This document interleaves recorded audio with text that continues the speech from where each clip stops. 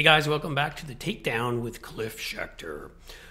We're going to be talking a little bit about Doug Mastriano today. You may know Dougie. He is the GOP nominee for governor that nobody wanted to be the GOP nominee for governor, including Republicans, because he has a long history of being a racist, anti Semite, really stupid person and making it all public, unlike many Republicans. That's actually not true. I don't say many are smart enough to keep it quiet. In the past, that's true. he's got some competition, but he's really like, he's got the Olympic gold medal for anti Semitism. He's going out of his way. And, um, you know, maybe deserves some kudos there. Um, Stephen Colbert probably summed it up best, and really sort of in a simplistic way. Sometimes fewer words are better. I keep trying to tell myself that when he said the other night about why Mastriano is down 10 points um, to um, Attorney General Shapiro, who's running against him on the Democratic side, who we're all rooting for. Um, Colbert summed it up thusly He sucks. And indeed, he does.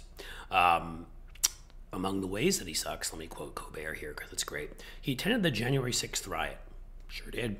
Has a long standing association with Christian nationalist ideas, proposed charging women who violate an abortion ban with murder. Yeah, he did that a couple years ago, and that just came out. Is connected to a social media site run by a notorious anti Semite and was photographed wearing a Confederate uniform. He's sort of like a combination of like Louis Gohmert, Christy Hyde Smith, Marjorie Taylor Greene, Donald Trump, like like all rolled up into one. It's sort of impressive um, how ludicrous this guy is.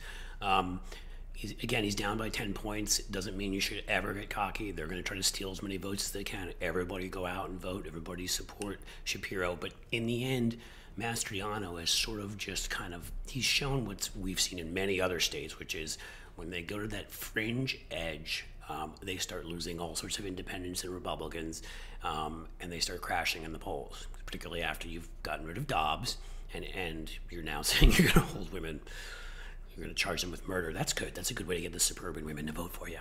Um, the Gab thing is really the, one of the most disturbing ones. Gab is where um, the owner, whose last name Twerka, I believe it is, some jackass. Um, he is has come out again and again and said that Jews can't be part of their coalition. He's even attacked Ben Shapiro and others, which I have no sympathy for Ben Shapiro. So, too bad you joined them. But the point is, is that he's made it clear that to him he's referred to Jews as money changers and trash and these kinds of things. I don't have the exact quotes in front of me, but um, all of the sort of notorious, notorious stereotypes. And of course, we killed Jesus too, even though I have an alibi and was at least a couple miles away having a beer at the time.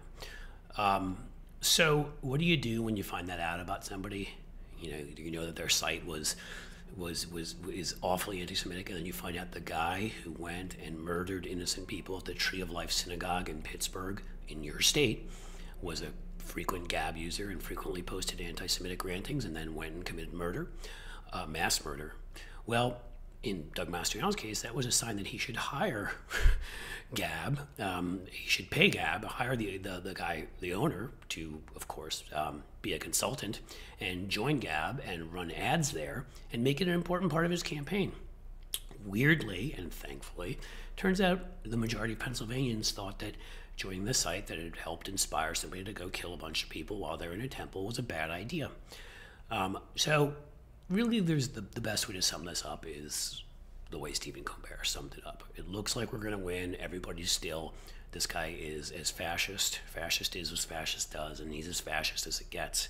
Um, he even has that sort of look, you know, domed head. I'm sure he'll grow the little mustache at some point soon. But at this point in time, um, everybody does their part. He will lose. And why is that? He sucks.